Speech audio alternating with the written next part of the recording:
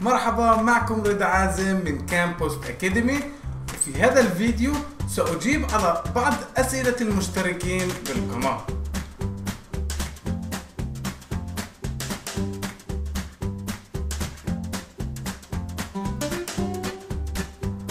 السؤال الأول هو من خالد ويسأل هل drop shipping من أمازون إلى إيبي يشكل خطر على حسابي الأمازون أو على البيبال والجواب هو طالما طريقة عملك بالمجال مطابقة لقوانين أمازون وإيبي لن يحصل أي ضرر لحسابك. مفضل شراء المنتجات التي تريد شحنها للمشترين من حسابك في الأمازون عن طريق ال gift card وليس من بطاقة الائتمان الخاصة بك. وبخصوص البيبال سيحجز في البداية مبلغ البيعة وعندما يتبين حسب رقم التتبع. أن المنتج قد وصل للمشتري سيلغي الحجز على المبلغ. السؤال الثاني هو من قناة المجد الإسلامي ويسأل لقد تم إغلاق حسابي الأول في إيباي وأريد فتح حساب جديد. ما هي الطريقة وهل يجب علي أن أغير الحاسوب أو البيبال أو الفاي فاي لكي أفتح حساب جديد؟ عادة عند إغلاق حساب في موقع إيبي وإيبي يرسل لك رسالة يكتب بها أنه لا يمكنك العمل معهم من الآن وصاعدا سيعلم إيبي حاسوبك وشبكتك الإنترنت وإذا فتحت حساب جديد من نفس الحاسوب ومن نفس الشبكة سيغلقها أوتوماتيكيا. الحل لهذه المشكلة هي شراء رقم شبكة جديد والذي يسمى proxy أو IP وتحميل لحاسوبك برنامج تصفح ثاني مثل فايرفوكس موزيلا وتعريف ال proxy الجديد ببرنامج التصفح الجديد. هكذا ستتصفح بالموقع وكأنك من شبكة ثانية.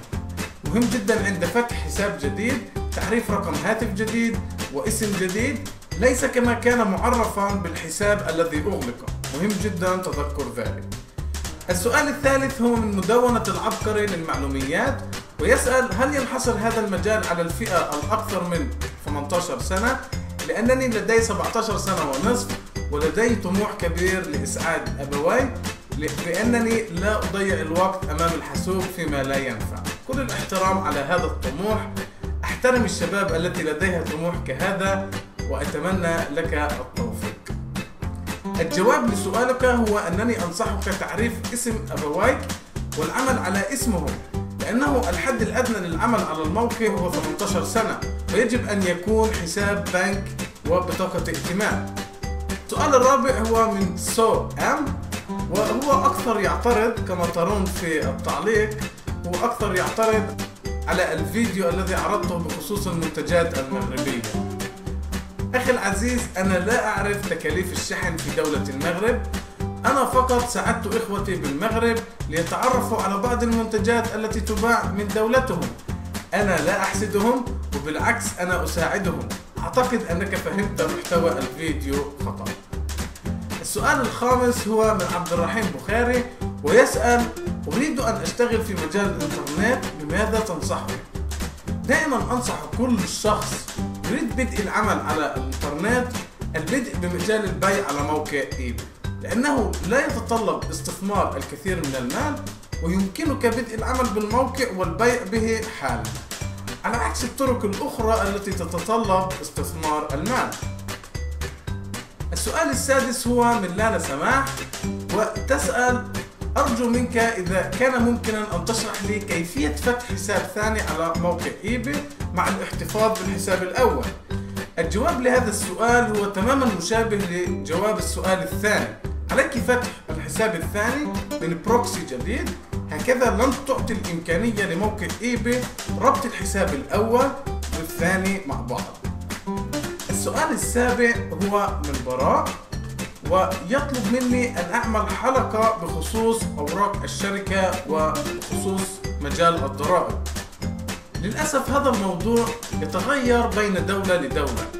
أنصحك التوجه لمدقق حسابات وهو سيساعدك بخصوص هذا الموضوع.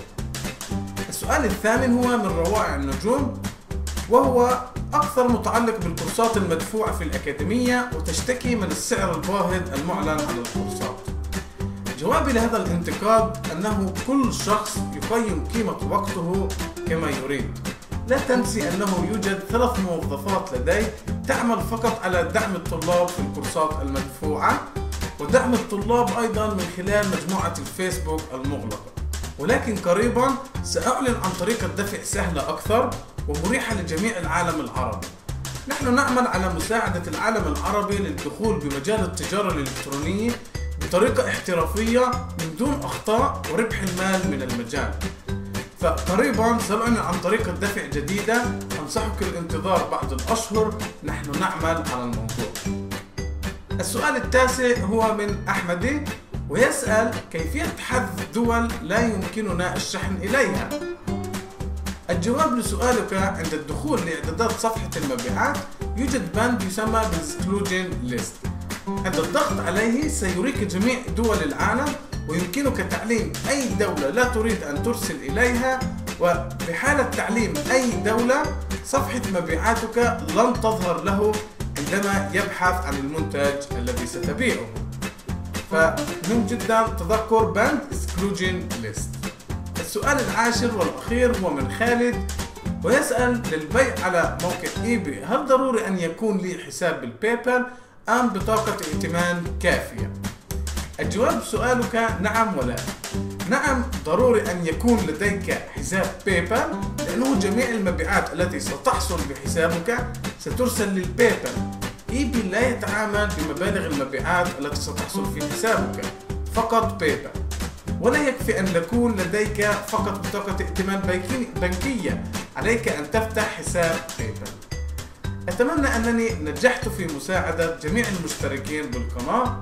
وإذا يوجد لديكم أي أسئلة أخرى أو استفسارات بخصوص الأجوبة التي بالفيديو أرجو كتابتها بالتعليقات وسأحاول الإجابة عليها بأسرع وقت ممكن. أيضا أريد أن أسألكم إذا أنتم معنيين في أن أعمل فيديوهات ببث مباشر لسؤالي ببث حي ومساعدتكم بأي مشكلة تواجهكم في الحال وأي أوقات ملائمة لكم أن أعمل هذا البث. فإذا أنتم معنيين اكتبوا لي بالتفاصيل نعم أنا معني وكتابة الوقت الملائم لكم بالتوقيت الفلسطيني. ولكل من يشاهد هذا الفيديو ولم يشترك بالقناة بعد أنصحه الاشتراك بالقناة لأننا سنعلن فيديوهات أسبوعيا على القناة تساعدك على بدء مشروعك بمجال التجارة الإلكترونية. ولا تنسوا الضغط لايك أيضا. شكرا لمشاهدتكم هذا الفيديو وسأراكم في فيديو آخر.